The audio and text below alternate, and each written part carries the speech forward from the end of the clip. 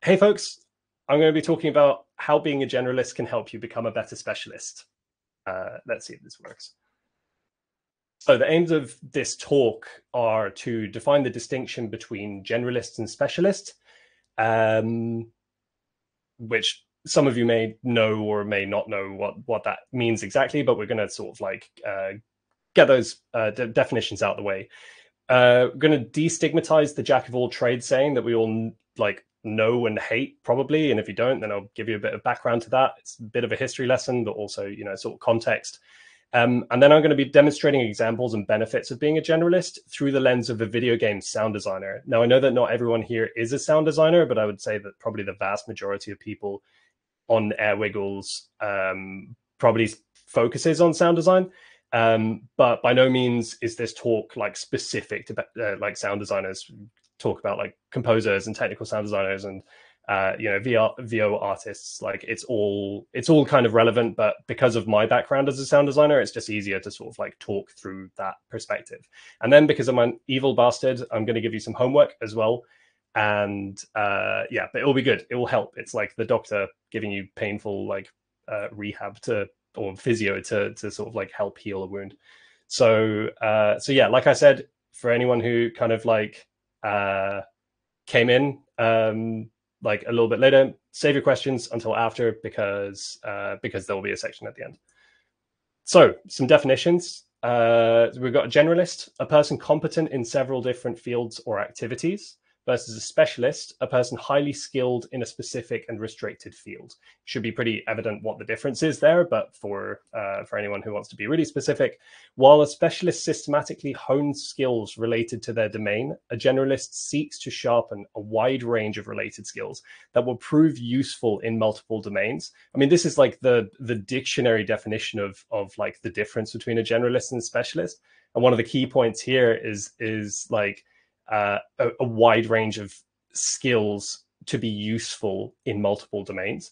So already it's sort of like this modernized idea of that like like generalists aren't so bad, right? Um, so uh, here we have our uh, our wonderful quote: "A jack of all trades is a master of none." I'm sure a lot of you have heard this before, and uh, mostly not in a good way.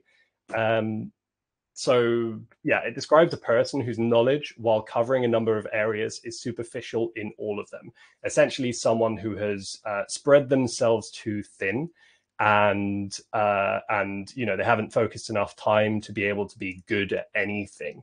I'd say it's probably a very like like uh, broad, like just offhanded comment that you can like make without knowing any context of of someone's skills. And it's it's sort of you know we're we're a nice community. We want to be nice to people. So like yeah. Um the saying dates back to the 1700s and is mostly used in a negative way and has done since then.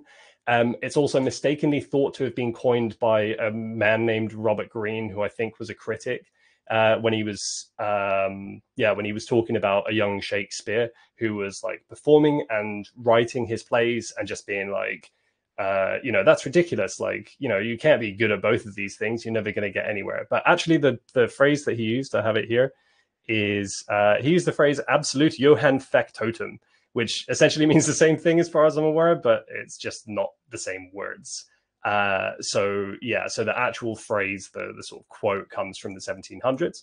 However, throughout history uh, and you know throughout the world, this is a saying that's been quite universal by by you know like many cultures.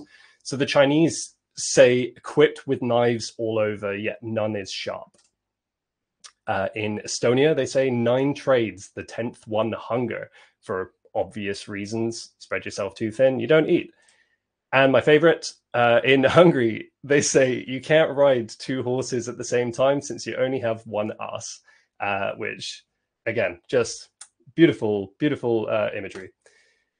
So, as uh, Adam very correctly said, um, a jack of all trades is a master of none, but oftentimes better than a master of one. You might have heard this as well, probably less common, but far more flattering.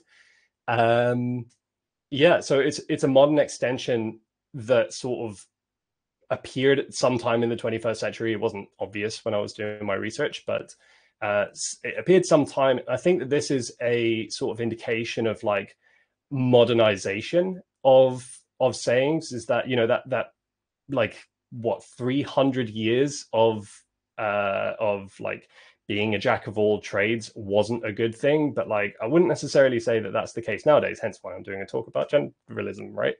Um so yeah uh apprenticeships family businesses and let's face it job security are like less common nowadays. Um if you've worked in the games industry for a while i'm sure you've seen a lot of posts about people losing their jobs suddenly. Um but the point is that like you know like like jobs require extremely wide skill sets. So like uh you know it, whereas in the past you know you're the son of a blacksmith and like you're always going to be a blacksmith uh, and uh, you know you're you're going to go into the family business. And if you're not the best blacksmith that you know like in the town then you're you're probably going to lose it to some other good blacksmith who's going to like come along. So you kind of have to be like really focused in that. Whereas like nowadays i mean there are blacksmiths who exist but i would probably argue that like they are themselves generalists because they probably have to like have social media and they they probably have to you know like do networking of some kind and they need to sort of like deal with suppliers and like where you know like you you get the picture. Like like it's not just as clear cut. Probably in the past it's not that clear cut either but like we we live in a different age now. And the last point is that information education opportunities are much more widely like available for us. Um, so I'll get onto this point a little bit just down the line, but uh, uh, you know, like it's it's easier than ever to learn. I mean, even with like improvements or, or in AI, like Chat GPT and stuff like that, I know people who are like, I suddenly know how to like a, a script in Reaper, or like I'm making my own games because like I'm getting help from AI and stuff like you know or uh, youtube is the probably the best uh, resource that we have and uh, it's filled with cat videos. So that's a thing. But um, but you know we're we're able to uh, like learn anything. We have sort of like the the the uh, accumulative wealth of human knowledge at our fingertips. Um, so we just need you know other things that are quite hard like willpower and and sort of motivation and stuff like that. So uh, some of you who know me, I've waited a little bit uh, longer to um, to introduce myself. Uh, you know me as a, a, Nintendo slut, and I love uh, Nintendo transitions. So I'm just going to do a bunch of Nintendo transitions like Nintendo Direct. I'm obliged uh, by the slides to wave to the audience, and I can only assume that you're going to w- wave back. Uh, maybe just type wave. Uh, who knows? But anyway, there's a point to this. Uh, I'm Jon Kelliher, and uh yeah, let's dig into it. So I'm a senior sound designer at No Brakes Games, working on Human Fall Flat, which I can now say as of yesterday. Um, yeah, and uh, I'm the sole audio designer in the like in the company. I manage the whole. Uh, oh, bless you guys, waving. Um, I manage the whole sort of audio pipeline, and uh, you know we are hiring for an audio designer uh, as of you know uh, this month. So hopefully we'll be managing a team at some point as well. Um, I'm a self-taught sound designer, game designer, and programmer. So in previous jobs that I've worked on at a company called Supergonk and a bunch of freelance work that I've done before, I, um, you know, a lot of my role was was more than just managing an entire like audio pipeline, but like it, it was uh, sort of you know like programming an equivalent of uh, of Fmod, but using you know just stock Unity audio and and um, yeah, and and sort of like uh, I kind of got funneled, pigeonholed into uh, sort of a programmer role with like, uh, here's sound design and music as a treat, um, making like game mechanics and UI and all sorts of stuff. And then I basically made like every level in the game in a game called Warp Drive, um, you know, d- designing gameplay and all that sort of stuff. So, so you, you kind of get the picture is that uh, it's, it's, I'm, uh, I've been spread quite thin. So, you know, working uh, at No Brakes, despite being quite daunting, is actually um, uh, a real relief for me uh, compared to you know like doing three jobs at the same time. Uh, if you've been wondering where the accent's from, I'm half Swedish, half Irish, born in France, raised in Spain, live in the UK. It's a mouthful. I've practiced it since I was born. Um, uh, if you think that you called it before, you're you're only lying to yourself. Um, Uh, I speak two and a half languages naturally. Uh, having grown up in Spain, I speak Spanish. Obviously, I speak English and I can speak baby's Swedish, uh, which I won't embarrass myself on a recorded stream. Um, yeah, so uh, I've I've worked in pubs. Uh, many many jobs that I'm sure everyone relates to aren't great. I've managed a co-working space, like office space, for like a like sort of like an incubator hub in Guildford. Um, I managed that for a while. Uh, I've worked in a music shop. I've taught music, and most importantly, I worked in a burrito shop, uh, which you know, like uh, it it was its own kettle of fish. Um, but ultimately, it's what pushed me over the edge to finally pursue a full time career in sound. And I'm sure a lot of you can relate to, you know, that job that's just like, oh my god, I can't hack this anymore. I need to have like a, a career that's actually fun, regardless of whether it pays or not. I actually uh, uh, saved up like two grand, I think, uh, and then just kind of like quit my job and uh, just jumped into the world of freelancing, um, which was yeah probably a story for the pub, but um, yeah, it was good. So uh, I have way too many hobbies. I play games, read fantasy, hike, travel the world, love cooking, go climbing because I'm a basic game dev man. Uh, say hi to people on the street. I listen to old fishermen on walks in Brecon. That one's for my girlfriend, but you can ask me about that in the pub as well. Um, I love all music, all art, all cultures, all people. These things give me life and they are what make me who I am. Uh, ultimately, I'm a generalist in all aspects of life, both personal and in my career, and it serves me and many others very well. However, uh, it has also been a point of, you know, anxiety uh, and a point of sort of like self doubt that's really crippled me. Um, yeah, so uh, you know, I think we've all probably been affected by this. Um, like, you know, uh, where do I focus my efforts? I guess I'll just focus my efforts on anything and everything, and just you, you know, you've you've probably also heard the the term like like adding strings to your bow. Um, I think that's probably like more of a like positive way of thinking about it is sort of like adding you know adding more strings to your bow. Anyway, I digress. Um, yes, so I hope you've appreciated the pictures of me just being a kid and stuff like that. I, I didn't really know what to put there. So, so hey, it's me as Spider Man. So, just like Spider Man, who juggles being a superhero, high school student, and a scientist, we can also be heroic generalists. Nintendo transition. Um, yeah. So, if we take a look at like the skill set of a modern sound designer, we'll see a bunch of skills. Sorry, I'm going to take a sip of herbal tea. Right. Okay. So we'll see a bunch of skills like computer skills, creative skills, recording, editing, mixing, video editing, website design. If you're doing portfolios and stuff like that, you'll know that you have to like learn a bunch of skills. Like I said before, a blacksmith wouldn't have had to like design their own website in the like like uh I don't know 1200s or something. Um, and time management and communication, like all of these things. If you're a professional sound designer, you will have these skills, or you know, even an aspiring sound designer or whatever. Um, uh, uh, we can take a look at like a modern game developer skill set as well and sort of compare and contrast the uh, the skill set that you might need. So again, we're seeing like computer skills, time management skills, spreadsheets, communication, game engine knowledge, version control. If you don't know what that is, look up uh, like Perforce, SVN, or Git. Um, basic to intermediate uh, logic and problem solving skills is you know you wouldn't think that that's a skill but it is you know like you you got to know how to uh, how to solve things. So anyway i could probably argue that some of these would go in the sound designer skill set. And just on cue here is a venn diagram that everyone knows and loves as well uh, has been really popular this week in people's talks and i love it. Um, so here are the skills that I just mentioned before, sort of overlapping, and um, and we can see that actually a bunch of these skills are uh, you know, there's a, a, lot of crossover between these two disciplines. Um, obviously, I've been selective here to kind of like prove my point, but um, but you'll see that like like if you know by being either one of these things, you're already more of a generalist than you think you might be.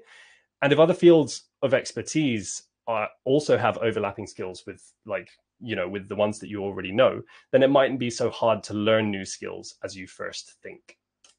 Which brings us to uh, how can being a generalist help you become a better specialist? Or rather, this is probably a more digestible way of thinking about it. How can a diverse skill set and external experiences feed back into your specialized field. So we're talking about this idea of uh, of you know like like specialist versus uh, uh, generalist, but like I, I don't really think that we we should be thinking about it like that clear cut or that black and white. Um, so think about it in terms of skill sets. So imagine how learning these skills could feed back into your craft.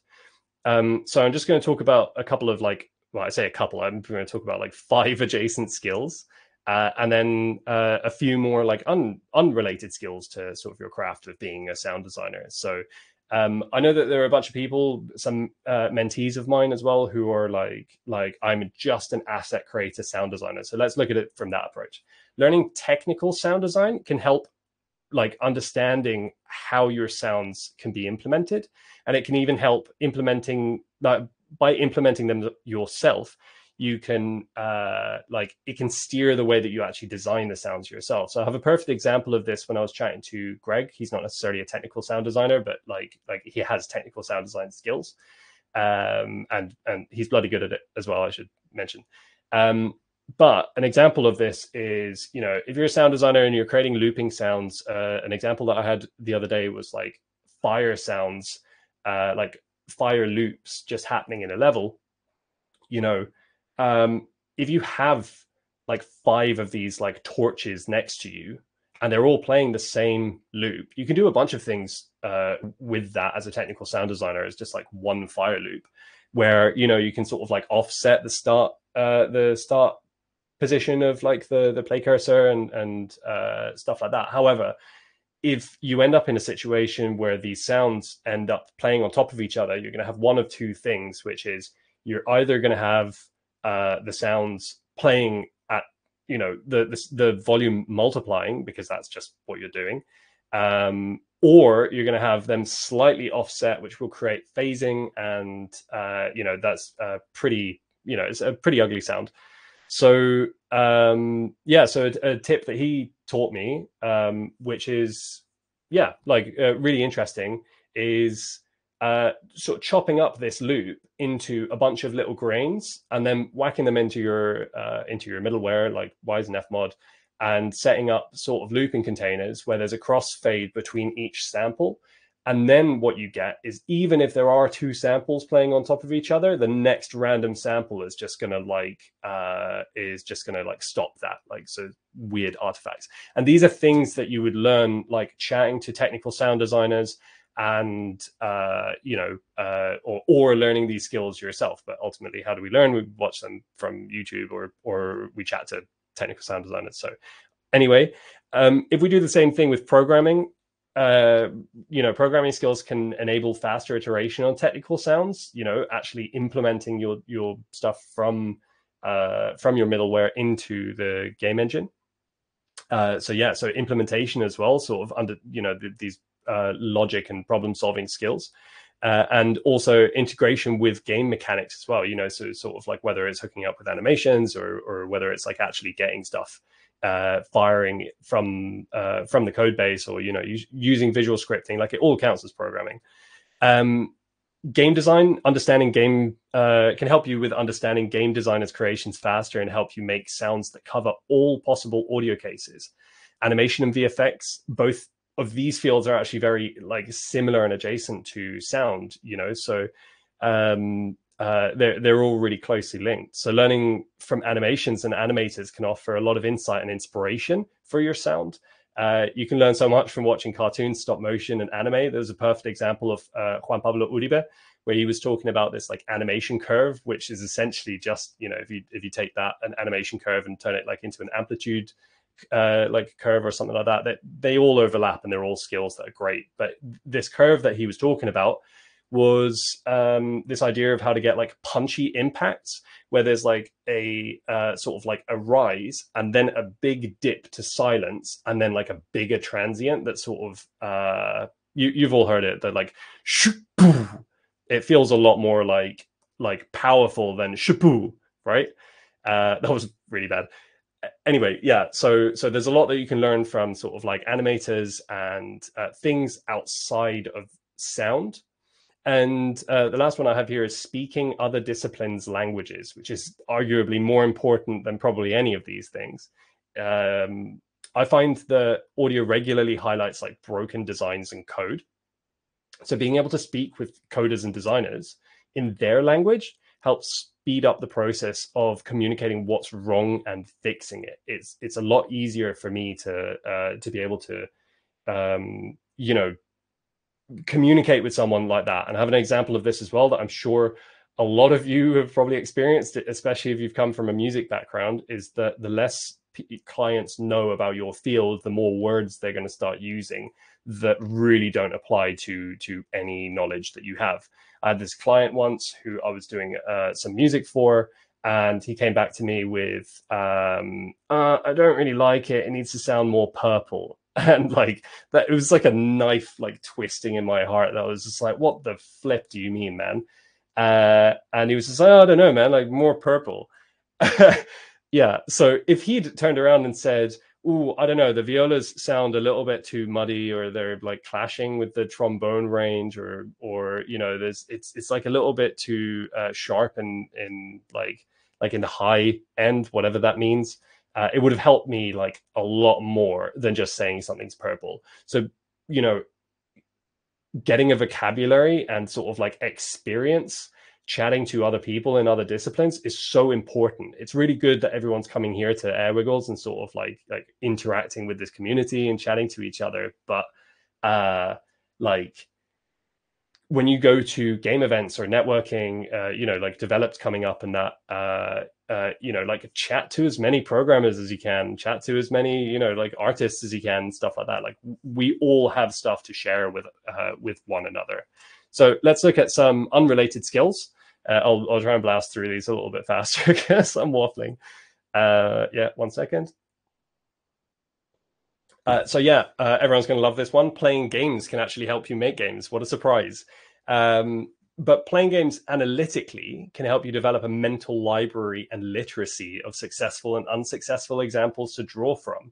I mean, like like playing games is great, but like uh, but playing games and sort of like like stopping, looking, analyzing, like like how does this game do something really good? What do I like about it, and what do I hate about it? And uh, and you know, like it, it can really help you. It certainly helped me be like, uh, oh no, this mechanic just isn't going to work. Look at this game that does it really poorly, and it really like negatively impacts the the uh, the experience. And then you know, whoever the director just doesn't listen to you, and then they're like, I'm going to do it anyway. Uh, but anyway, at least you have that, and at least you can give them your professional opinion. Um, cooking is a perfect example. It's full of amazing life skills and lessons. It's part of our culture as, as a species. Um, through cooking, I learned that I generally need to go harder with spices, and uh, uh, you know, as much as I need to go hard with like harder with plugins. So uh, you know, like um, I think it's very easy to kind of like with with cooking, you can't really take stuff back like, like you know you oversalt something sometimes you can put honey in it but you know you you kind of can't do that. But with sound design you know you can go ham and then just sort of like delete all of your plugins and go you know like oh right actually you know it was fine before i put uh, anything on it. So it makes it like a nice playground to be able to do it. But like cooking is one of those things that i think is wonderful and even if you make a mistake you just get better and learn uh, next time. So highly recommend it. Um, learning from people places and cultures i mean i can't like overstate how important this is just as being a human. I know we're talking about like sound design here but being a human is is these these are really important experiences and skills to have. Um, so these things help draw from a wealth of unique experiences you know your unique experiences dealing uh, uh, interacting with these people places and cultures. Um, you know and not only like all across the world but throughout history as well and it will inevitably add a sense of artistic identity and character into your work because these experiences whether we like it or not bleed into our work.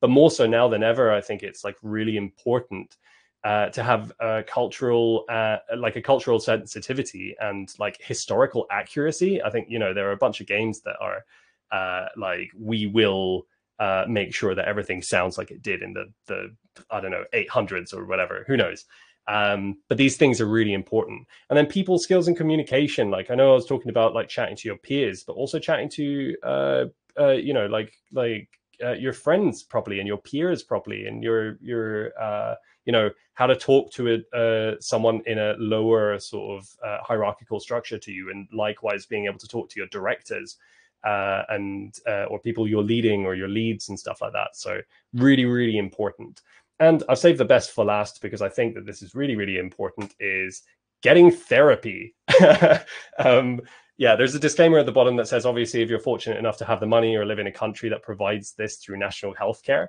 But I think that this is anecdotal and anecdotal through friends, like secondhand anecdotes, is that genuinely this was the best thing I could have ever done with my life. I went through a lot of like like trauma that I didn't even know that I went through, and like like as much as it helped me in my personal life, it also helped me in my career in ways that I never really expected it to you can help yourself so that you help others around you with love and empathy. I'm just going to let that sit there for a moment while I take a sip, but it's important.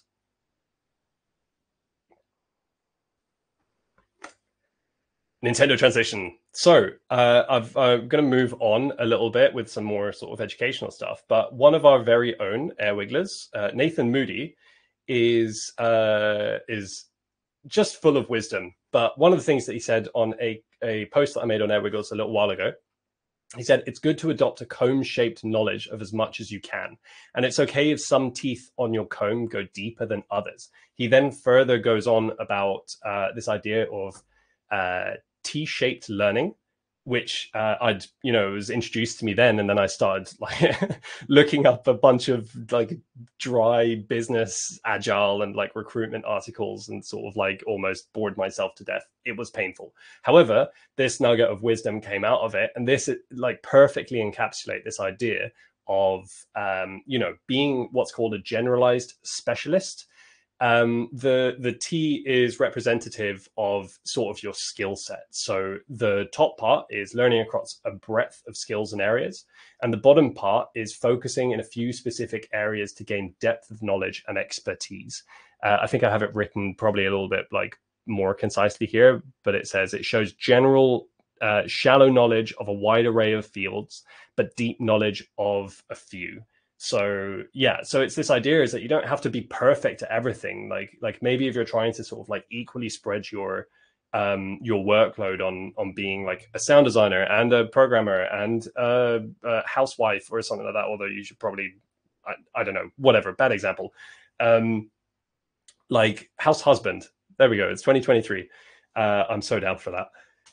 Yeah so um ah, I've, I've lost it now. But yeah, the, the point is that you sort of focus in the things that you want to, and all of these other things sort of like funnel and supplement. Uh, I don't know if you see me going like towards the camera, like funnel and supplement uh, down, so that the, the skills that you're sort of focused on are uh, are you know the, the skills that you are specialized in, and the other things are kind of you know all um, yeah they're uh, they're all there to to kind of like help enrich your life and hopefully other people's.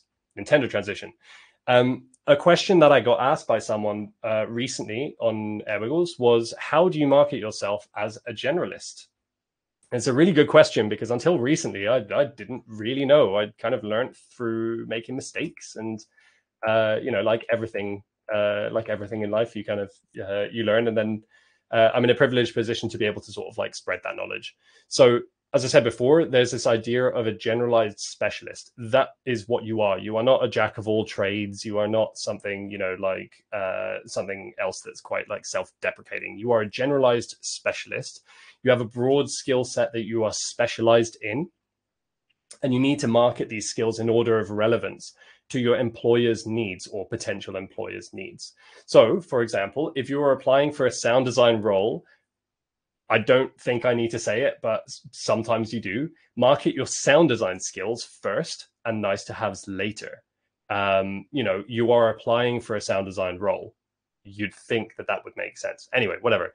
Um, and then work on an ele- elevator pitch that flows like butter. There's a very UK centric joke in the bottom corner, but I think it's Akash Thakkar who talks about the elevator pitch in some of his old talks. I think it might have been his TED talk or something, but he talks about, you know, like practice your elevator pitch to death like like don't fumble while you're trying to like like sell your services to someone or market your services to someone like you know it, it's uh, it's not as daunting as you might think essentially so we'll take some examples. Uh, instead of saying this uh, when applying for a sound designer role, it might look a little bit familiar to some people and it might hurt. I have done this and I have failed doing this.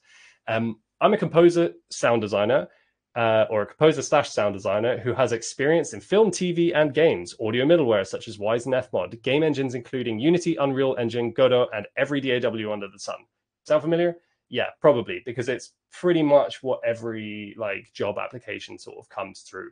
And if we analyze it a little bit closer, the the things that stand out to me are uh, you're a composer applying for a sound designer role. Um, mm, yeah, I sort of like like my eyebrows raise um, so who has experience in film, TV, and games? Cool. Prove it. you know, tell me what games you've worked on. Tell me what TV shows you've worked on. Tell me what games you've worked on. But you know, also at the same time, it's like, like, are you applying for a game studio? If so, who has experience in games on what consoles, on what platforms? Like, like, you know, there are more relevant things to say than just, you know, like broad strokes. Um, so Unity audio, uh, like audio middleware such as Wwise and Fmod, that's not so bad. But again, you could just say audio implementation. Game engines, including Unity, Unreal Engine, Godot, uh, and no one really cares what DAWs you're using unless you're using Reaper, in which case kudos to you for actually taking the plunge. It's great. Um, uh, but also at the same time, it's not really relevant to know what DAW you use. And uh, I also am an advocate of the fact that if you know how to use Unity, you pretty much know how to use Unreal. Like, uh, like maybe it works vice versa. I'm not really sure. And I'm I'm assuming if I applied for a job that was saying like you must know Godot skills, I could probably watch you know a week's worth of tutorials on YouTube and kind of get the picture. Um, I'm not trying to be cynical or or, or uh, demeaning about it, but what I'm saying is that all of these skills are relatively transferable. So instead of saying that, how about saying something like this? And this is tried and tested. I've used this um, like uh, yeah, like it's it's pretty much in line with what my my elevator pitch is now. But how does this sound compared to the previous uh, pitch? I'm a sound designer with a broad range of skills, specializing in sound design, audio implementation, programming, game design, and music composition this isn't like like perfect, but it certainly worked for uh, for things that I've applied for. And to analyze it a little bit deeper, first and foremost, I'm a sound designer because I'm applying for a sound design position. I've got a broad range of skills, but I'm specializing or I'm specialized in sound design predominantly, obviously. If you want to know more, you can check out my CV, blah, blah, blah, blah, blah. Um, audio implementation, I'm assuming as an employer that you probably know either Wwise or Fmod or both. Um, uh, and again, I'm personally a believer in that if you know one, you probably know how to do the other, like because the ideas, the concepts are still the same. It wouldn't matter to me as an employer. Um, programming, wow, okay, well, this person obviously knows how to, you know, like uh, knows logic and problem solving skills, but also knows how to talk to programmers because that's a really important part of being a sound designer if you're doing technical stuff.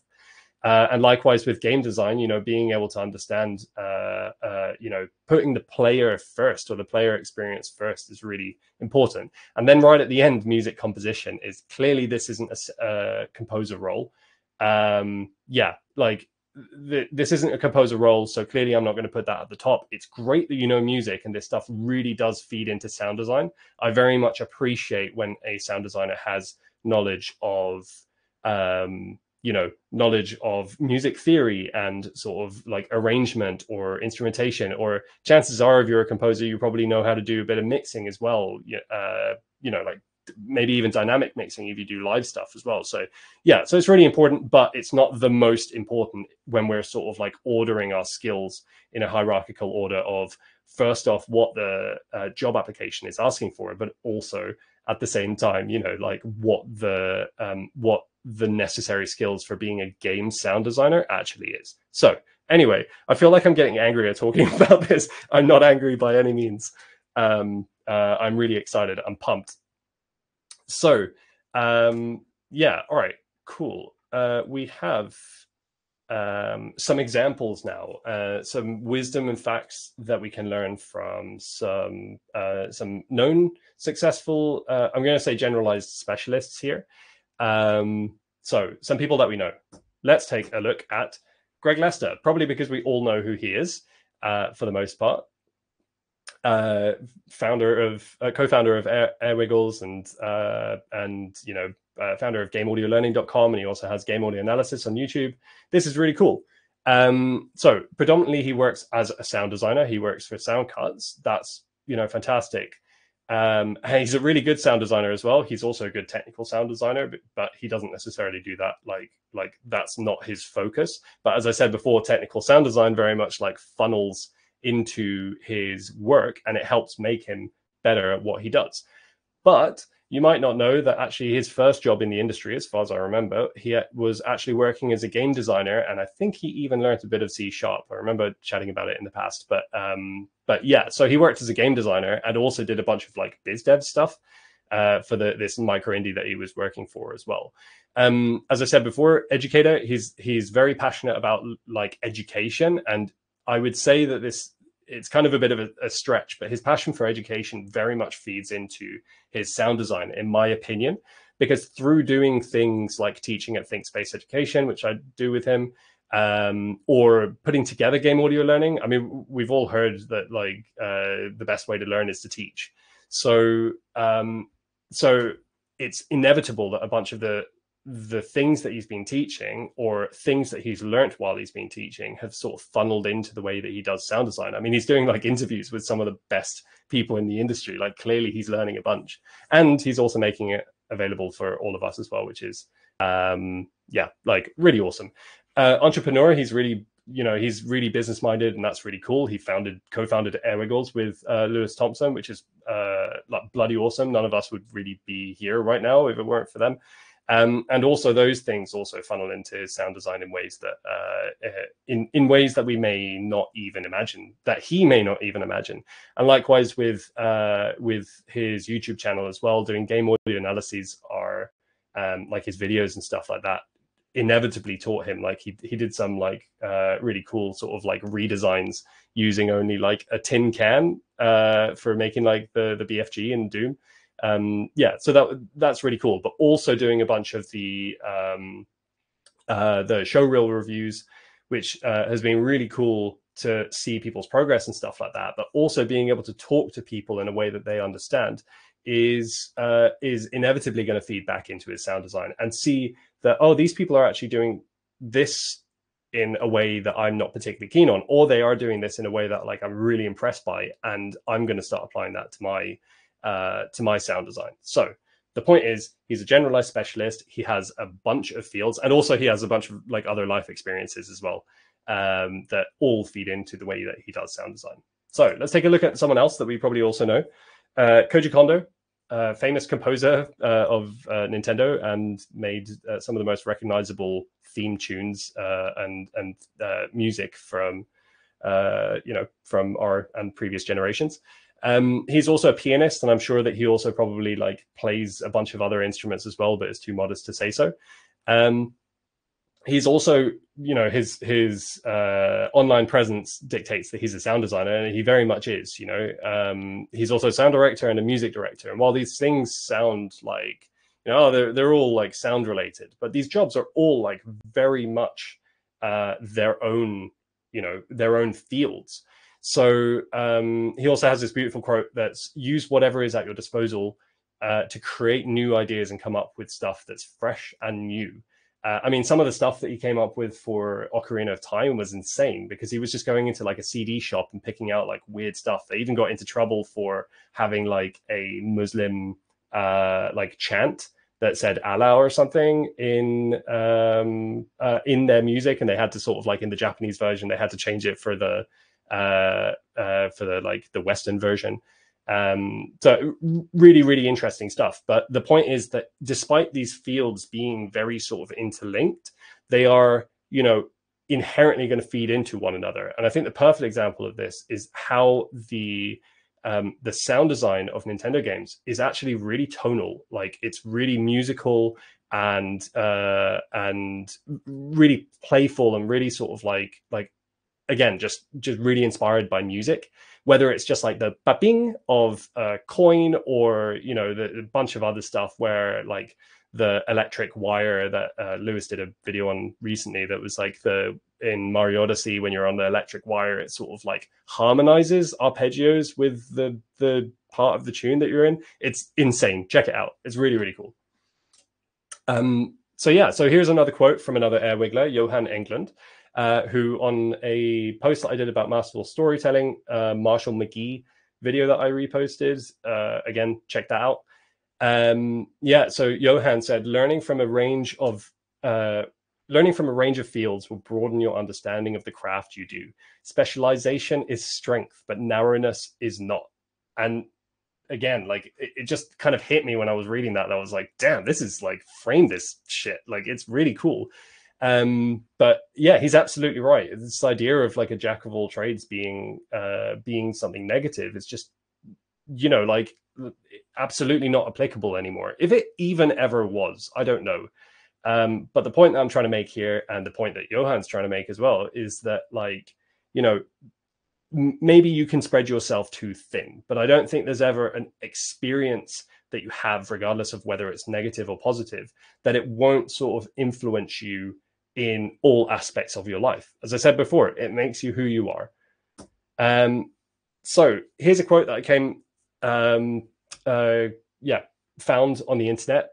I've linked the source below. There's this idea of a polymath, and that's essentially a, a generalized specialist. But this quote is most creative breakthroughs come via making atypical combinations of skills. So, uh, yeah, it, it, it's it's a really interesting concept because I like this idea that um, you know, like uh, I'm a big believer in like like creative limitations.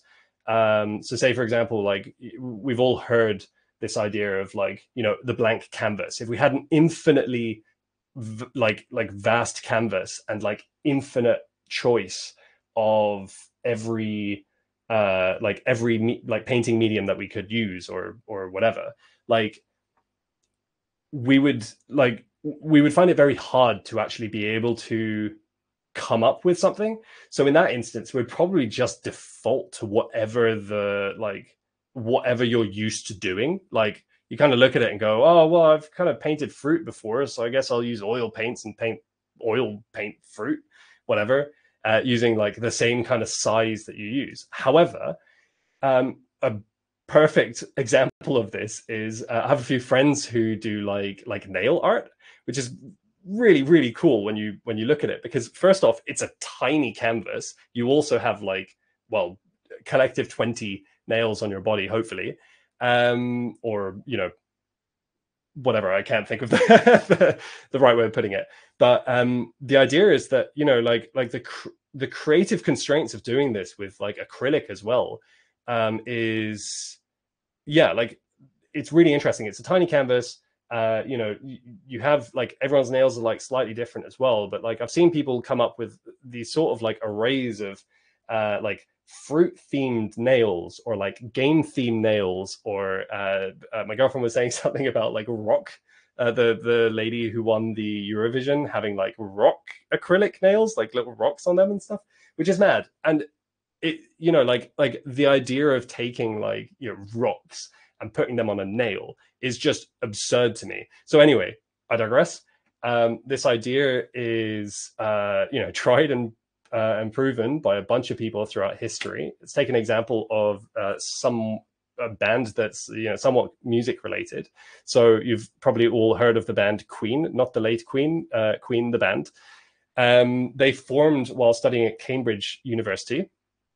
They all had degrees in some fields. So Freddie Mercury had a degree in graphic design and illustration, Brian May in physics and did work in astronomy, Roger Taylor did a degree in biology, and John Deacon in electronics. So what's interesting is the fact that they they weren't even like pursuing music, although I'm pretty sure that they they probably leapt on the opportunity when they they you know when they found that they had something really good. But um, you know they they kind of like they had almost a, a, plan A that didn't really work out because plan B was so good. But I think it's uh, like y- you can't argue against the fact that like these skills that they had inevitably sort of funneled into their uh, into their music. You know, whether it's just the sort of like experimentation kind of mentality uh, that scientists would approach music to, um, they sort of brought that into the studio and sort of like came up with different ideas. I'm not necessarily saying that they're talking about like physics and stuff like that in their music, although some, you know, some songs are, but um, I would say that the the sort of like atypical combination of putting scientists and music together kind of really worked out really well for them. So uh, yeah, some other examples include uh, Steve Jobs, who famously uh, combined design with technology to uh, to create Apple and it wasn't necessarily something that people really thought about. I mean, you look at like IBM laptops and stuff like that, and they're like they're fuck ugly. Um, but like you look at Apple, and it's something that you could probably put like on a mantelpiece. Say what you want about Apple, but I I would even say that it like it it comes down or like it's sort of filtered down even to like the price. Is that like this is a luxury item that uh, that you're buying, and uh, you know it's going to be polished and really like fine tuned and stuff. Um, but yeah, it's an interesting combination that no one really did before, and it was successful. Marie Curie, uh, you might have heard of her. Um, she famously combined physics and chemistry and pioneered research on radiation. She became the first woman to win a Nobel Prize, first person and only woman to win a Nobel Prize twice, and only person to win the Nobel Prize in two different scientific fields, which is just wow like uh yeah r- really really interesting but you know this this sort of idea of like physics and chemistry com- combining together and and you know sort of i mean she was crazy to kind of like, like do what she did but uh she did it and she was like massively successful and then hypatia uh, combined philosophy, astronomy, and was arguably the first female mathematician in Alexandria, uh, Egypt. So um, yeah, and you know these things that she did and she studied and and uh, sort of uh, like like her the things that she studied um you know we still talk about them today which is bloody impressive for you know like like i can't remember what it is maybe like nearly 2000 years or or something. But yeah it's it's really really cool. And uh i think this idea of combining atypical skills is clearly like one way that you can find a niche for yourself and hopefully innovate something new. So uh, the the last one that we have is a quote from Leonardo da Vinci. Uh, uh, he's probably arguably the person that everyone thinks about when you think of like the word polymath or or whatever, because he was just he, he certainly had too many hobbies. So he says, study the science of art, study the art of science, develop your senses, especially learn how to see. Realize that everything connects to everything else. And he's absolutely right. Like uh it like i said before whether you like it or not things and experiences and knowledge all filter through to all aspects of your life. Go to therapy. Uh and you will you will learn this.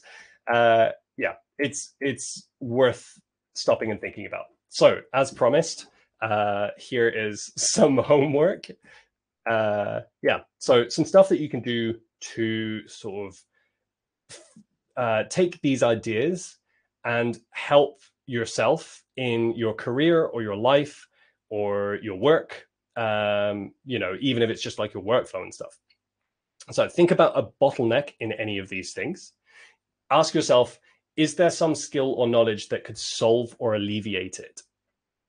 Um, do you know anyone who you could ask to demystify it? We're on Airwiggles for Christ's sake. Like, like ask people, and the number of people like uh, Juan Uribe has uh, said reach out to him, even though he's not on social media anymore. Find his email, watch that talk, uh, or like any of the other people. Like, I'm pretty sure anyone doing the AMAs and and that, like Ash Reed and that, are are all super happy to talk about these things. Even if it's a hey, I'd really appreciate some time, uh, like like just talking to you for like half an hour. I've done it. This is where I'm at, uh, or how I got to where I'm at.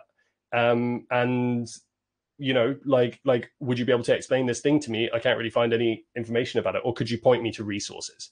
Then research how to go about developing that skill. Like I said before, YouTube, asking your peers, mentors, check out the uh, Game Audio Learning mentor page. Like there are plenty of people out there, even past the vast number of people who are like uh, who are on there who are willing to share their knowledge and share their time to help other folks have the opportunities that you know either they had or or you know they didn't have.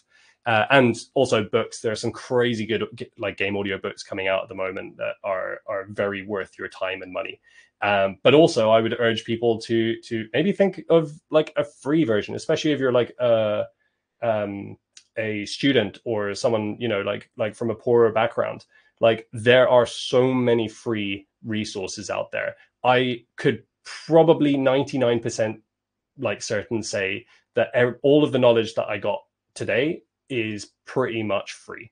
I, all of the Brackeys tutorials on YouTube and all of the like Marshall McGee videos and game audio analysis videos that I, I watched to get to where I am. I mean, like like Noah, I think what's his name, Noah Citron, is also like really really he's doing some really really cool stuff on YouTube, and I really highly recommend checking it out. Then plan how much time you could dedicate each week or day or year or whatever to learning it. Um, you know, there's loads of scientific evidence that says if you do a bunch of work um like at the uh like in one big chunk and then don't do anything for ages you're not really going to make much progress. However if you dedicate a little bit of time even if it's just 10 to 20 minutes every day just make one sound a day you know? And you'll notice first off you'll have like like a reference point to see how much you've developed but you'll notice after like like a week a month a year that actually you know uh your your skills will will be improving a lot. Like i have videos from like seven years ago of the first time before i even knew i wanted to get into sound design when i did this like final fantasy 10 uh, uh like like music and sound redesign. That i look at it now and i cringe but i'm also able to look at it and see like oh these are actually some really cool ideas to uh, to learn from. And then goes without saying put your plan into action. Like do this for everything. It's kind of like a tried and tested method. You kind of just need to you need to be aware of something that's uh, that's not going right. You need to check out how you could uh, you know how you could solve that problem, and then uh, just use everything at your disposal.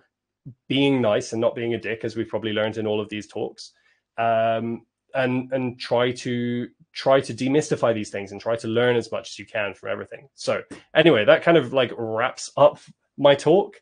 Uh, uh, just last little ending statements. Go out there, be the best generalist you can be. Be open to new experiences. Be curious. Make mistakes. Fail forwards, upwards, whichever direction. Just don't like go back constantly.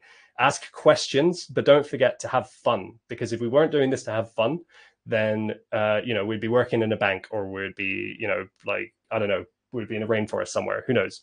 No matter how hard things get, the journey and the lessons along the way will be worth it in the end. They are ultimately what make you who you are. So, has anyone got any questions? I promised uh, that I would do this, and I will uh, I will stop sharing the screen.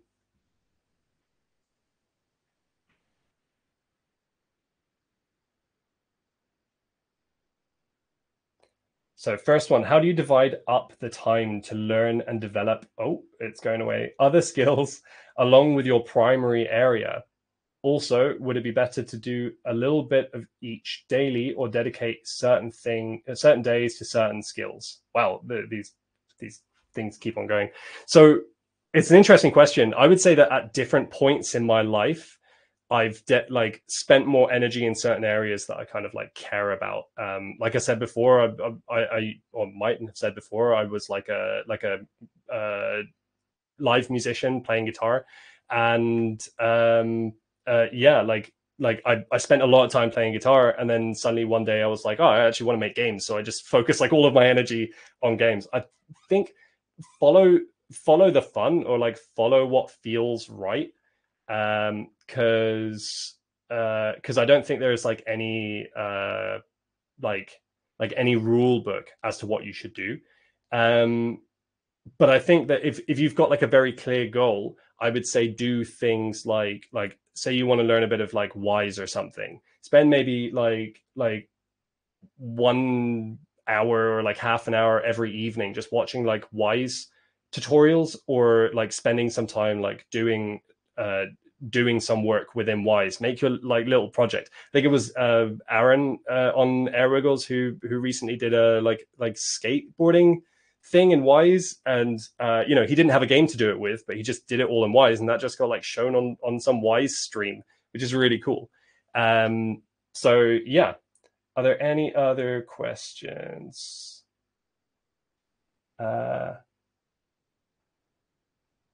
what am I working on uh, or developing right now, if anything? Oh, that's a really good question. Um, always developing sound design stuff. I'm always like uh, watching videos and uh, doing random bits, but not really like spending time like after work.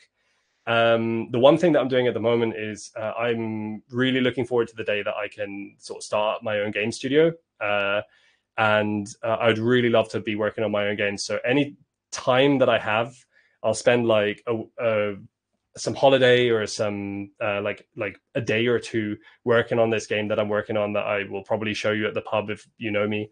And um, yeah, so so I guess it's just kind of like generalist game design stuff that I'm working on.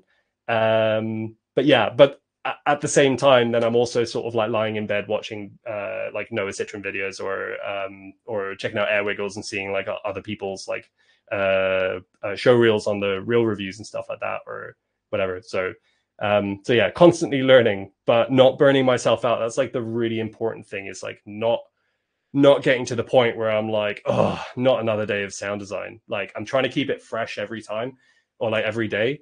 Um, yeah, so so don't burn yourself out. There are a bunch of talks on burnout, uh, whether it's like free GDC ones or or whatever. I highly recommend them. Uh, another question from Adam.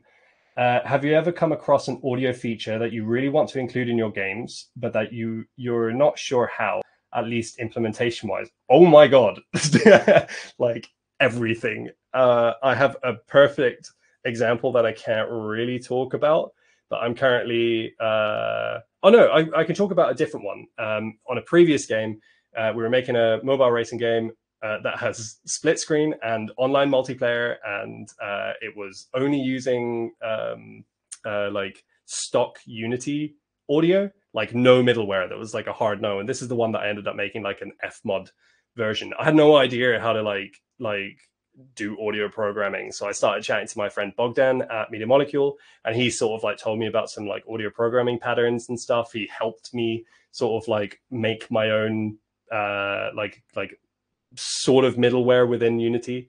And uh, then it came to the point of like, oh, Unity doesn't really support split screen audio. So now I'm going to have to like figure out how to do this.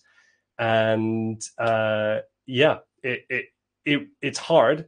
I genuinely believe that if, if you put a little bit of effort into something like every day and you think about it and, and like, like I constantly think about stuff when I'm going for a walk or um, like when I'm in the shower involuntarily.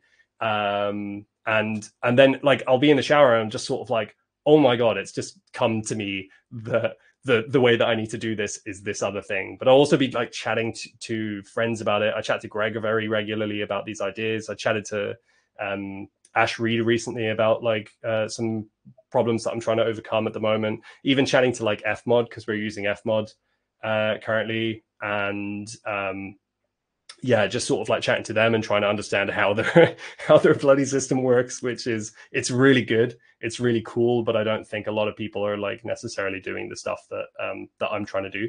So I think that regardless of what game you're making or, or what project you're working on, there's there's a high possibility that you're going to be like breaking ground at some point, or you're, you're going to be trying to do something uh, something new um, that there might not be resources online that can help you with that.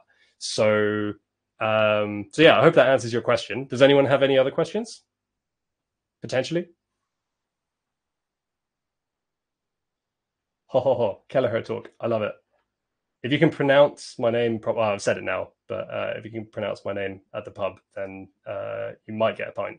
No promises. Uh, all right, cool. Mike asks, what is a good way to have your website show off yourself as a generalist? Do you focus on your primary skill area? Yes, absolutely. I mean, you can take a look at my website. I'll just write this out. Uh, okay, uh, sound.com. Um, yeah, if you take a look at my website, I've it's like seven or eight years of of iteration, and I've spent far too much time procrastinating uh, doing like website design. But I'd say that ultimately I landed on the fact that um, the way that I'm going to make it in this industry is by being a uh, a sound designer because I care. Uh, I don't care if someone tells me that like sound design, my sound design doesn't sound right. I can just change that. But if someone tells me that my music doesn't sound right, I take it like as a personal offense. Um, I've I've got better at that like now, but I think that it's um, like it's really helped me to kind of just like focus on one area as a specialist, um, where that's like my main point of focus.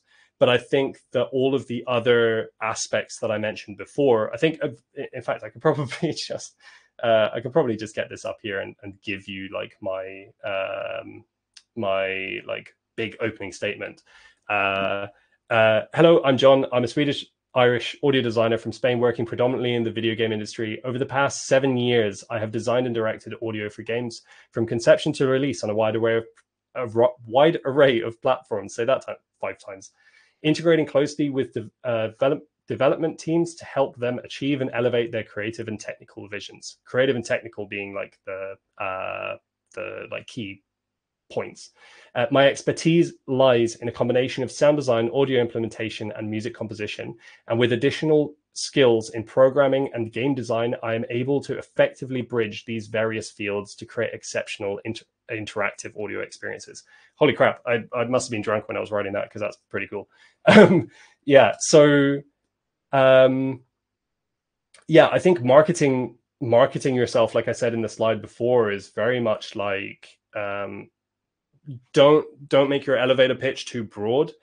Very much like like focus it on the thing that you're applying for. Even if you in, in one position you're applying for a like a composer position and in another position you're applying for like a game designer position like like have two show reels or have two sort of like cover letters or cvs to uh to sort of like send to the relevant people and talk to people that way because um, you know, not everyone's fortunate enough or has enough time to make port, uh, to make uh, show reels that are like like diverse enough to be able to go like, oh, this is a horror game company, so all of my um, all of my you know elements or videos in this show reel are going to be horror.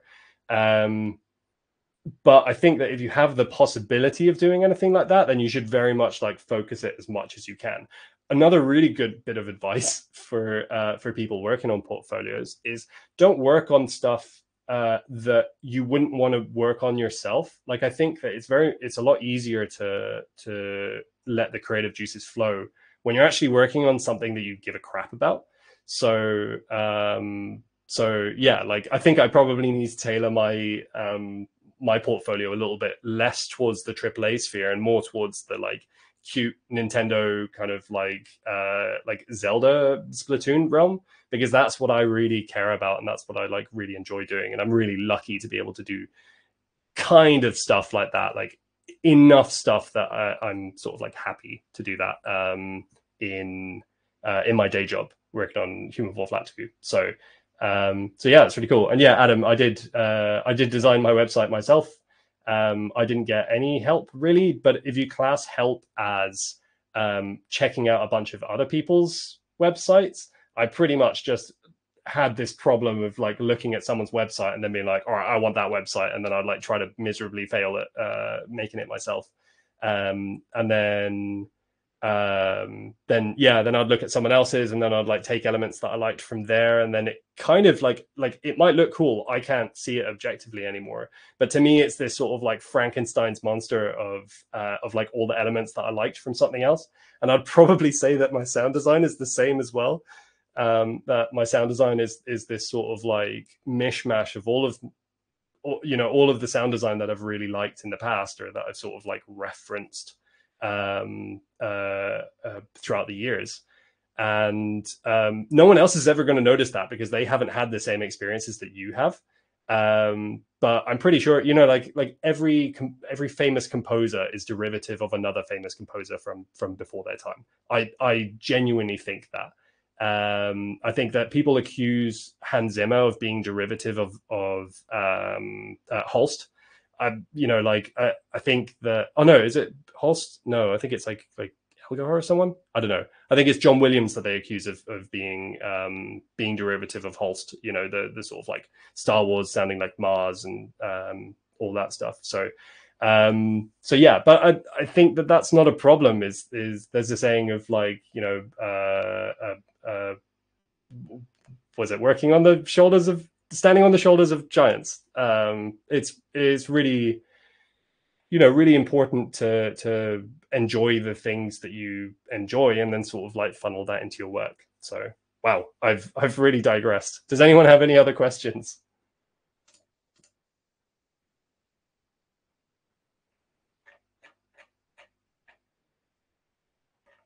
Cool i'm just having a look at the chat in case i missed anything. Um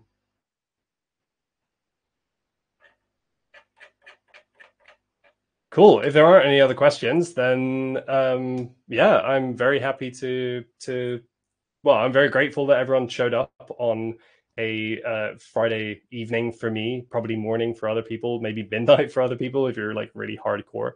Um, I hope that everyone's like really enjoying AirCon and uh, for any newcomers to Airwiggles, you know, like I hope you're enjoying it here too. I hope that this space like really grows. Uh, like like even more than it has already. We already have like thousands of members. Um, but yeah, it's it's such an honor to be part of the game audio community. I have a lot of friends in art and stuff who are just like I, I'm envious. So revel in that, like you know, like make the most of uh, the kick-ass community that we have here. And uh, you know, if anyone has any questions, any follow-up questions, or um, you know, any um, like yeah, like anything, just reach out the worst thing that happens is I'm too busy to to answer, but I'll get to it eventually. So um, so yeah, thank you everyone for interacting.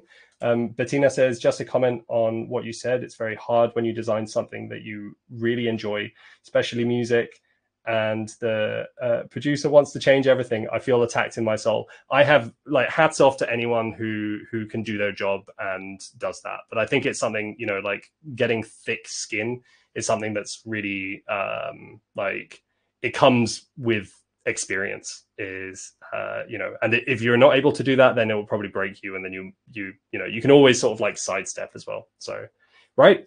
Thanks everyone. Uh, have a great weekend and yeah hopefully catch you in some of the other uh, the other talks